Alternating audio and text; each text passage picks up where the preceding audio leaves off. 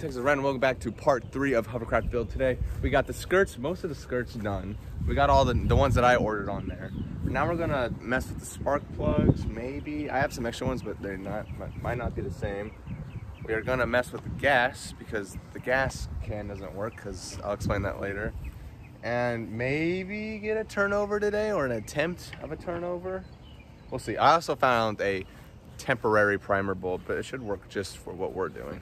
So this is kind of like what I was saying about the problem. So this engine's not original. The original is this one cylinder. So it's cut off about right here. This one's double the length. So, and this is where the gas tank goes. So you can see that's where the handle goes, but it's over it. So like, it, it's not even close to fitting. So we're gonna try to like makeshift. We gotta figure out how to strap this in so when we actually like start roll, rocking and rolling on this thing that it could be safely secure in there. So we got this one gallon tank and we're gonna just temporarily kind of jerry rig it. so right now we're trying to like um, squeeze this little O'Reilly's fuel um, primer bulb to the the fuel connector, I guess is what that thing is, but it's not quite big enough. It's like not even close because again, this is totally temporary. But I think this should work for now. So obviously the primer bulb, it just goes like right here and it fits in there real nice with those like tan things. But th this again should work just okay. Like we squeeze that pretty good. So I think temporarily it should work good. Fuel.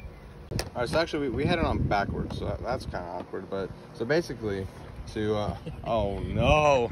Oh, if you know, you know. As I was saying, so we, we're kind of like um, heating this tip up to make it flexible so we can put it on there for our temporary fuel primer bulb. By the power of fire, we got this on pretty good, I think. Nice. I am Phoenix. Nice. So right now we're gonna get some fuel. We're gonna literally, I'm I'm gonna go in there and be like, hey, can I have one on five? Just to get us started. So we're gonna get some fuel right quick and then mix it with some nice two-stroke oil. Don't look at my miles per gallon. Don't look at it. And it's gonna be great. I'm really gonna go in there and be like, hey, can I have one on 17, pump 17? They're gonna be like, what? All right, just filled it up. One dollar worth of gas. Spencer, don't spill it. We don't have a lid. We should have brought the lid. I think it'll be okay. Just hold it still, steady hands. All right, gas is home. I'm gonna take this two cycle oil and we're gonna see what this thing can do. I really, we'll see. I, I really doubt it turns over to be honest. All right, we took this off the trailer. Um, hopefully we didn't rip any skirts. That would be kind of awkward.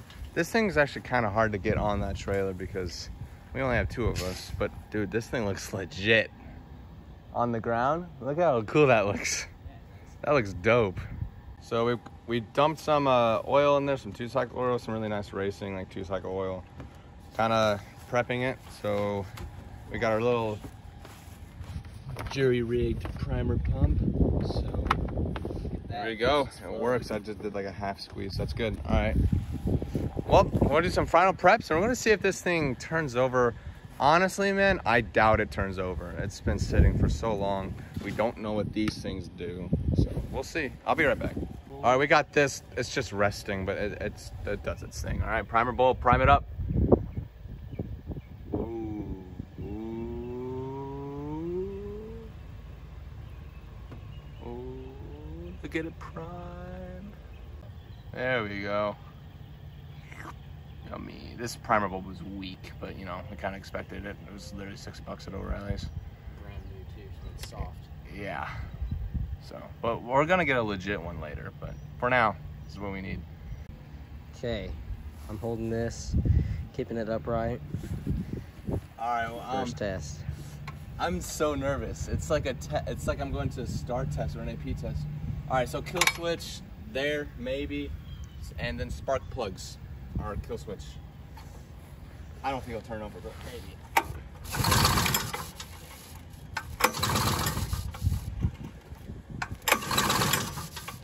Fuel is. I can see it pumping a little. Telling you,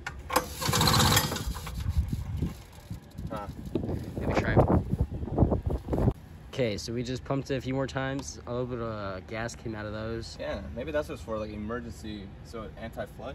Maybe that's like telling you when to stop. Dude, nothing. Hmm. I think it's got to be something with those with those lines. I don't think they should be sitting like that. No signs of life. So this is probably not normal. But that carburetor has fueled this thing, dude, it is bone dry all around. There's nothing in that second carb, so maybe that's an issue. Dude, Spencer the engineer. So what we did, we're, we're trying to load it up, but we left the gas tank in there, so it dumped on this hole. And Spencer just used his mouth and like created a vacuum. And look, the, you can't really see it, but the fuel is flowing and back into it. Dude, that's really cool how you got that to work. Okay, make sure that's like still in the corner though. It is. It's Okay. still going, man. Wow. That's actually pretty sick how it's like still going. Is it in the corner all the way? That's cool. Get all of it. And just like that, it's pretty much all gone. I thought we were screwed. Nice. Physics. All right, back on the trailer. Let's put this thing back in. It looks so cool. We got to get that thing running. It is like 50 horsepower. But we, we got to see what's wrong with that bad boy. So it's back in the garage, and now we're to kind of take off the spark plugs, kind of see the condition of them, and then take several pictures and go to a small engine repair shop and see if they can tell anything that might be useful. Like, what are these and why is this carburetor not getting fuel or something like stuff like that. So here are the two spark plugs. They're out now. I'm not really sure like what I should be looking for. That's why I'm sending a bunch of pictures. Japan, that's cool. Oh yeah, because this is a Polaris engine. I think Polaris is Japanese. Or maybe that's just coincidence. So we just got the carburetor off. And then we got, what, what is this called specifically? Um, Throttle control thing. Anyway, that's just chilling there now. So now we're gonna take it to a shop. So maybe they can tell us if we need a carb rebuild kit or what's going on. And this is the one that wasn't getting fuel. I mean, it might be that, this guy's fault, but who knows? So we got the cylinder, maybe. I, that kind of looks like a cylinder head. That's kind of cool. All right, let's go. So actually, we just opened up the carb, and it is horrible. It is. We're gonna have to clean it out like a lot, but that's kind of a risk. There's no guarantee it would actually work.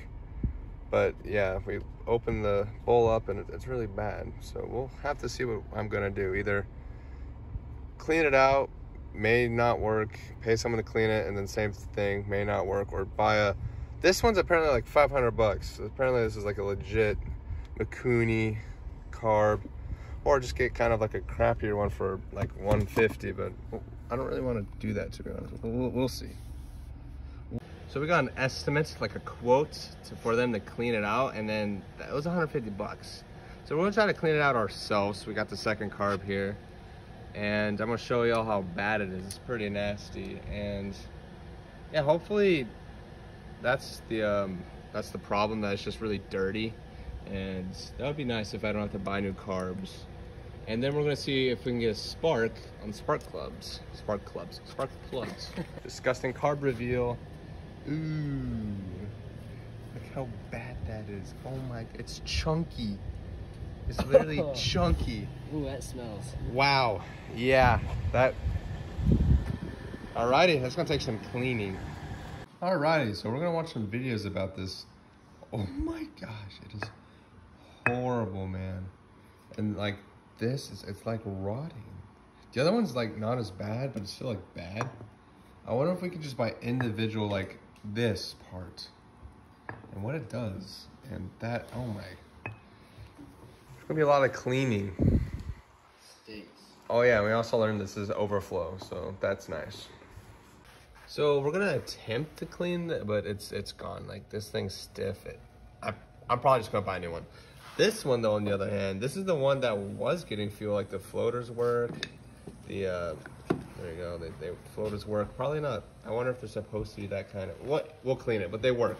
And these things are doing what they're supposed to. I really wonder what this does. But yeah, this one is actually in a lot better shape. We'll definitely still clean it.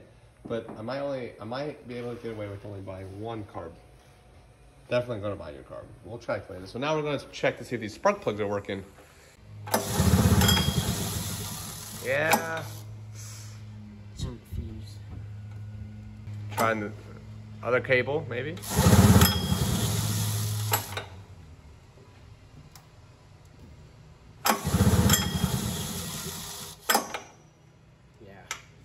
Nothing.